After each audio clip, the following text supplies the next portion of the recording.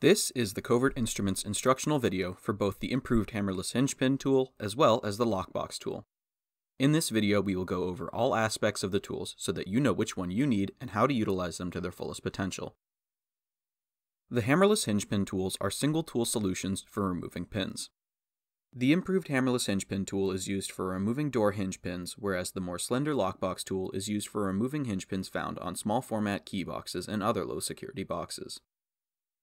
Let's first take a look at how the hinge pin tool works in general, and then we will cover the specific applications for both tools. The hammerless hinge pin tool comprises of three main pieces, the striking head, the body spring, and the end cap. The tool is operated with two hands. The first hand is used to hold onto the ridged surface and stabilize the striking head. The second hand draws back the end cap and releases to perform an impact to the strike head. The tool can also be used in the reverse fashion to seat pins rather than extract them.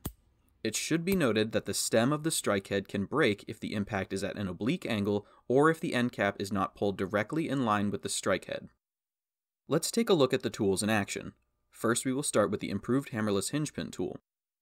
The operator will identify an applicable hinge, center the strike head on the bottom of the pin, using their first hand to support and maintain the center on the tool, while the second hand draws back the end cap and strikes.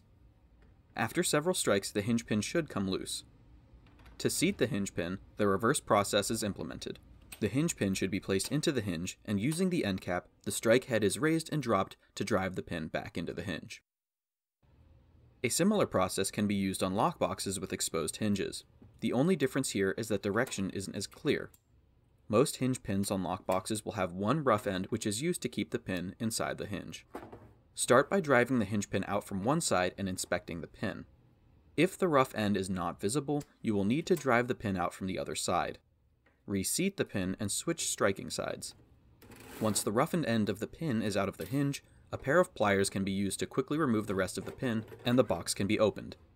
Thank you for purchasing a Covert Instruments hinge pin tool, and we hope that you find great enjoyment in your practice and development of your new skill.